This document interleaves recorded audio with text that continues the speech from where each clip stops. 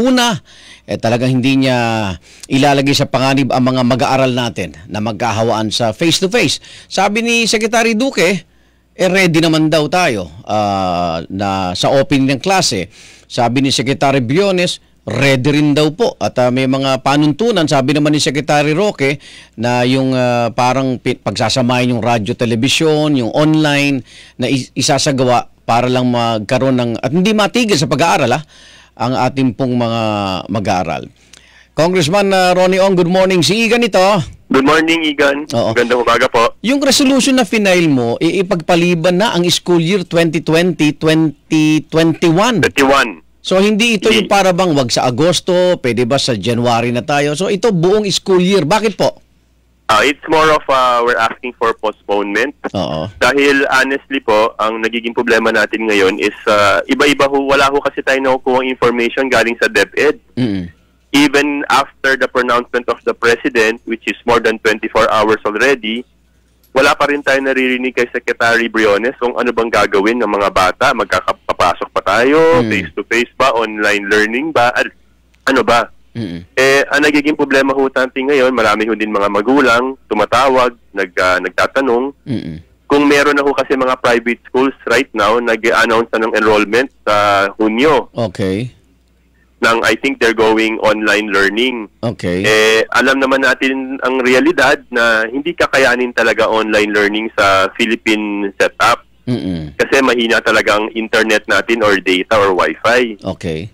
So again, we are waiting for Secretary Briones kung ano ho ba talagang desisyon niya. Kayo ba may nakarating na ring ah, daing ang mga mismo mga guro eh sila nagsasabi na sa kabila nung pumapailalim sila sa mga pagsasanay no at training ngayon sila mismo nagsasabi hindi sila handa.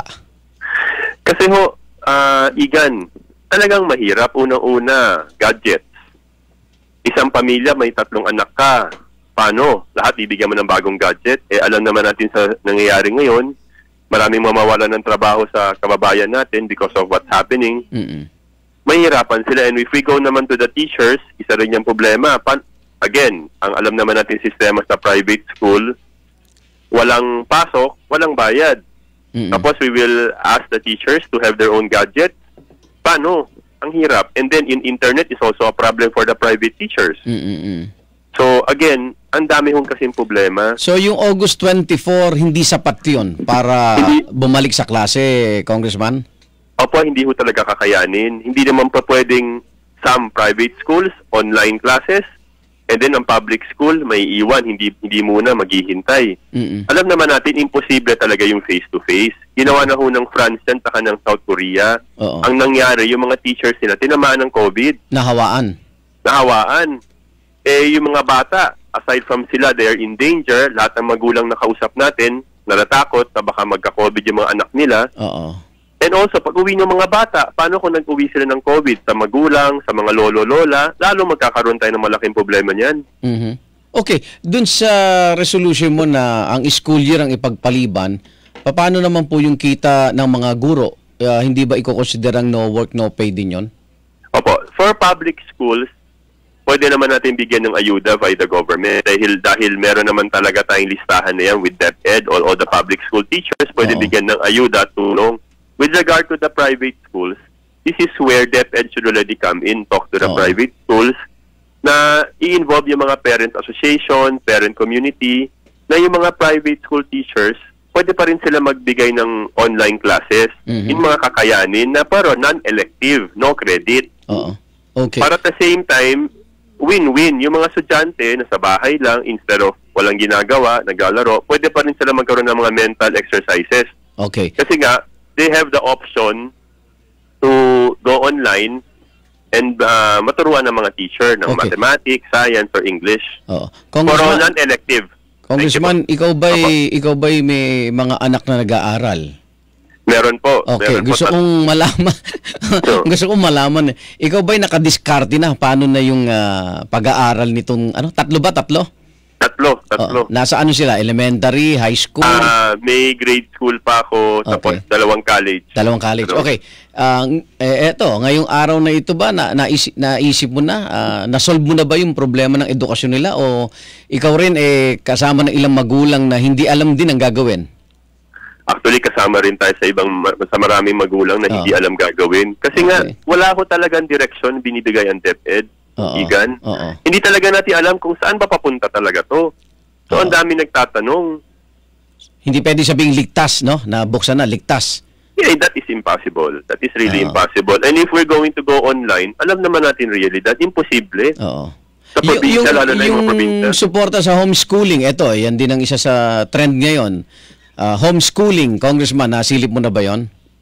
Opo. Actually, that is a Mahal, very mahal ah, mahal. Mahal. Ah. Pero pwedeng alternative yan. Oo. But the problem is, is the DepEd prepared to do that? Okay.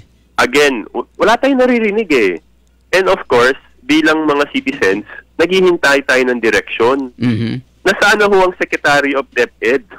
24 hours na ho nag-announce ang presidente natin. Hanggang ngayon, wala pa rin tayong naririnig sa kanya. Alam ko Kung ano may, ba? may statement yata siya na parang ah, i- gusto niya ituloy kasi ah, yung yung future, yung kinabukasan ng mga estudyante ay hindi raw parang ah, ah, maaaring mapigilan, ah, Congressman.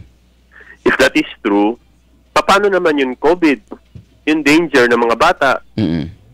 Exactly. I mean, you come up with a statement. If she did, pag meron nga siya nilabas na statement, ano yung direction? Mhm. Alam naman natin again, paulit-ulit lang naman na sa probinsya, mga ang probinsya natin, hindi naman nila kakayanin yung online classes. Mhm. And if you're going to do face-to-face, sir, Mhm. delikado yan. Mhm. Magka, lalo, lalaki ang numero natin sa COVID. Mhm. Okay. Saka, saka Y- sir, yung, lastly, yung, y- oh, sige po. yun nag nag-announce din ng IATF na pag nag-GCQ na tayo, bawal ang lumabas pa rin ang 20 years old below and senior citizens. Mhm. So, ano yung consistency doon? Hindi pwede lumabas pero gusto mo mapasukin ng eskwela. So, Mm. ano ba? Okay. Ang gulo po. Y- eh. yung resolution nyo ba calling for a uh, congressional inquiry, uh, Kong? Opo, opo. Aha. So, imbitado Para mo ho- sina Secretary Briones. Opo, para marinig ho natin once and for all, kung Oo. ano ba talaga ang plan niya for uh, school year 2020 to 2021. Kung, kung ready na ba talaga, di ba? Kung ready na talaga tayo. Oo. Kasi we currently have, I think, 27 million students or 26 something million students Mhm. incoming. Ang dami po nun. Actually, yung binanggit mo kanina sa private school, may ibang ano na eh, na, na- nakapagbayad na ang parents. Oo, isa uh, pa yan. fee, di ba?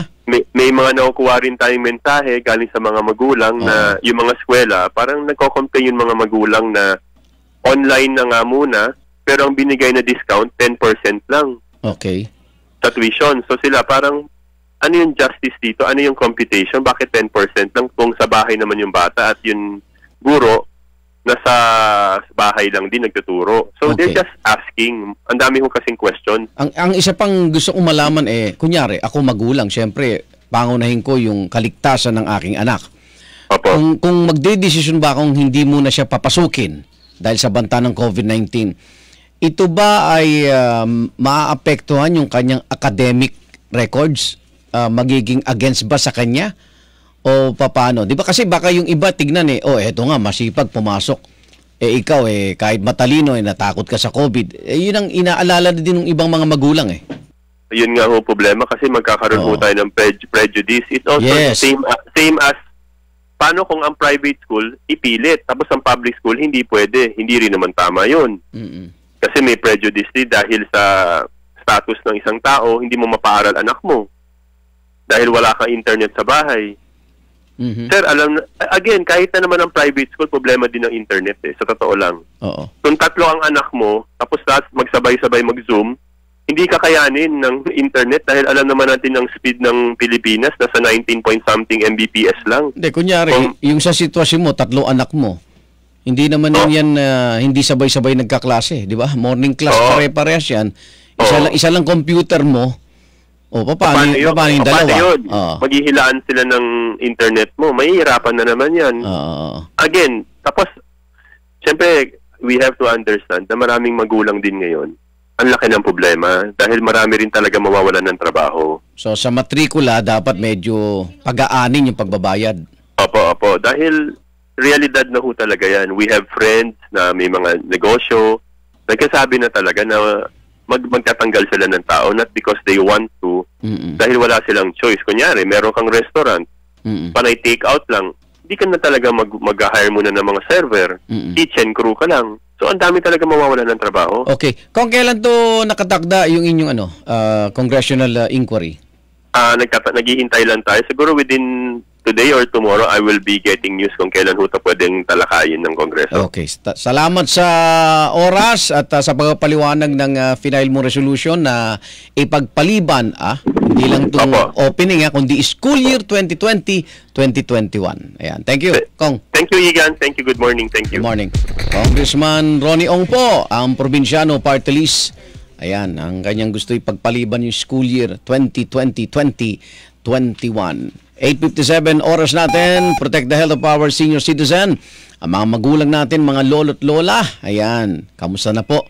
Madaling kapitan ng sakit dahil umihina ang katawan at immunity kapag tumatanda. Painumin sila ng ayan, oh, Ensure Gold kasabay ng proper diet at exercise. Meron itong 28 vitamins and minerals, vitamins B6, B12, C, D, and minerals iron, zinc, selenium na importante para sa normal function ng immune system.